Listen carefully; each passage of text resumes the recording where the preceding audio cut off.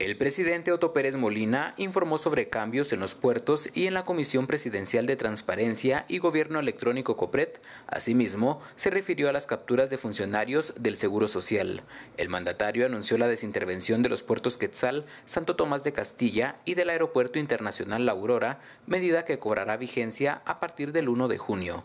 También comunicó, en compañía del vicegobernante Alejandro Maldonado Aguirre, que Verónica Taracena dejó el cargo al frente de la COPRED sin que se conozca aún quién la sucederá.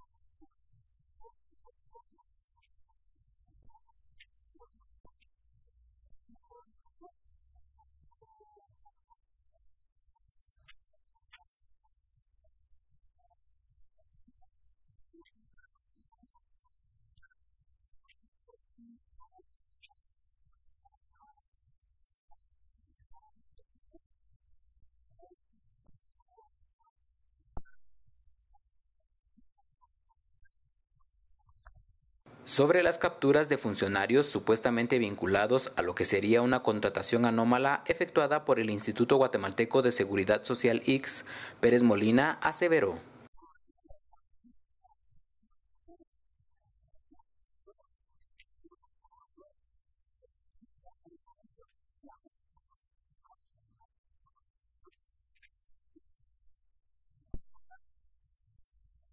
Para DCATV informó Jardín Yelmo.